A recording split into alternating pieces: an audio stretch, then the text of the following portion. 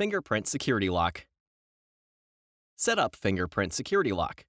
Swipe down from the notification bar, then select the Settings icon. Scroll to and select Biometrics and Security.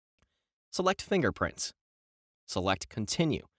To use fingerprints to unlock your device, you must first set up a backup lock screen type.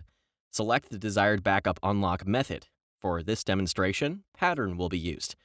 Enter the desired pattern, then select Continue. Enter the desired pattern again, then select Confirm. Review and follow the prompts to register your fingerprint to the device. Place your finger on the fingerprint sensor.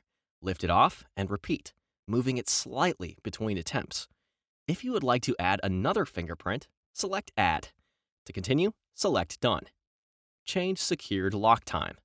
To change your lock screen time, from the Settings screen, select Lock Screen. Select Secure Lock Settings. Enter your backup unlock method, then select Lock Automatically. Select the desired option. Using a fingerprint to unlock the device.